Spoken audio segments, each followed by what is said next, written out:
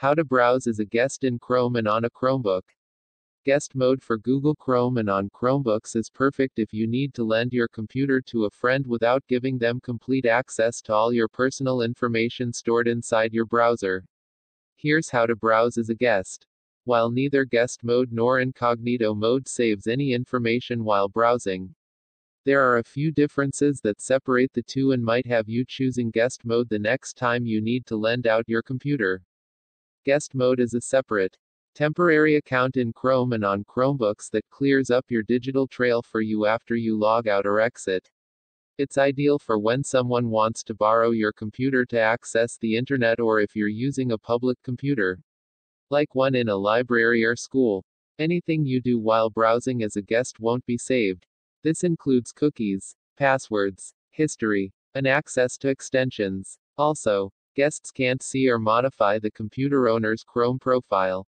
While using guest mode, guests aren't able to access any of your personal information stored in your browser, this includes all your bookmarks, existing browsing history, saved passwords, autofill data, and other Chrome settings. Incognito mode is best used for browsing privately on your own computer, not just for browsing inappropriate sites without leaving a trace, and just like guest mode.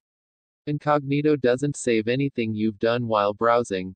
Also, Incognito disables extensions that you've installed to Chrome unless you grant the extensions access.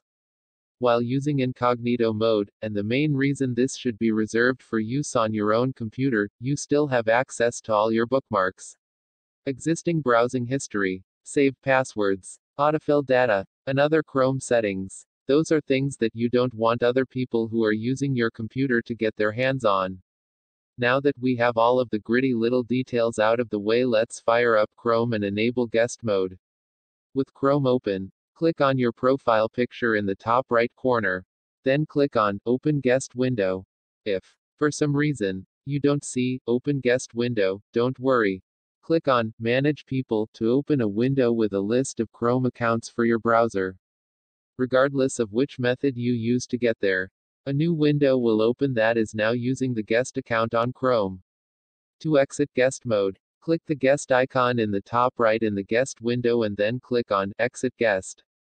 The window closes, taking all your browsing history, cookies, and record of anything you did while using guest mode with it.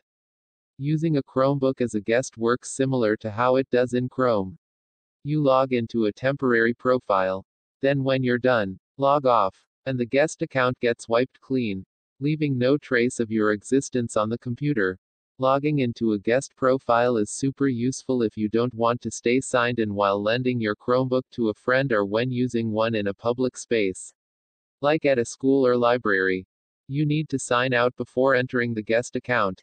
So if you're signed into the Chromebook, click the time in the system tray and then click Sign Out. If you're using your Chromebook at work or school and don't see Browse as Guest, your administrator has turned off guest browsing. And you may need to contact them to enable guest browsing.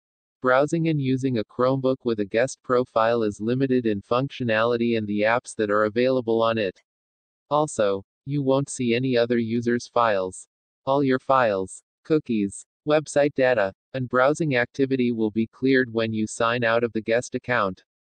Using guest mode to stop Chrome and Chromebook from saving your data, cookies, passwords, and browsing activity but it doesn't make you completely anonymous online, and you might still be visible to.